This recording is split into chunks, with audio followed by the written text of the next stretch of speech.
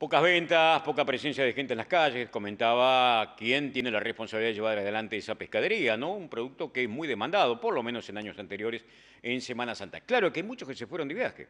Por ejemplo, estuvimos en la terminal de ómnibus para conocer la opinión de aquellos referentes de las empresas del transporte público de pasajeros. Muchos han decidido, claro, un fin de semana extra largo, tratar de disfrutar a la distancia, tomar un poco de distancia también de la rutina, de lo cotidiano, ¿no? Y volver con fuerzas renovadas. ¿eh?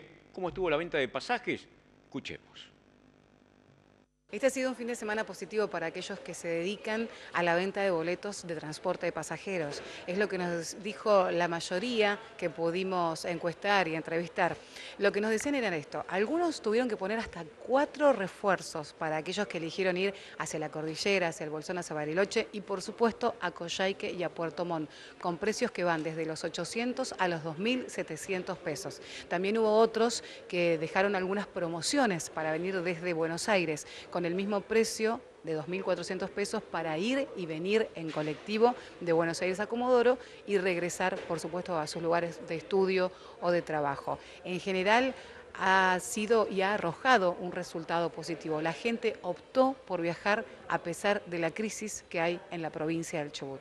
Este año hubo un poco más de movimiento que el año pasado. Por ejemplo, tuvimos dos refuerzos al, lado de la cordillera eh, que salieron completos ayer hoy y hoy. Eh, y vuelven completos también, ¿no? porque la misma gente que se va es la que vuelve. Y tenemos los coches completos desde Buenos Aires para acá, también. hasta Comodoro Rivadavia. O sea, hay gente que de, pronto vino para pasar este fin de semana acá. Sí, sí, sí. Y, en precios, por ejemplo, para ir hacia, la cordillera, como vos decías, eh, ¿qué, ¿qué, precio está el pasaje?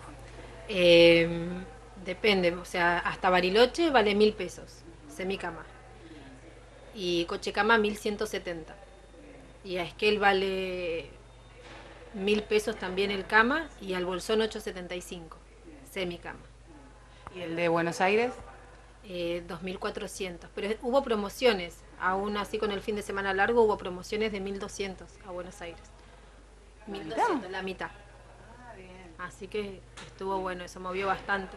Nunca pusimos refuerzo, pero hubo más movimiento el año pasado. El Bolsón, Bariloche, Ushuaia y el Calafate. Al Bolsón están en 8.95, eh, Ushuaia 2.580 y el Calafate igual.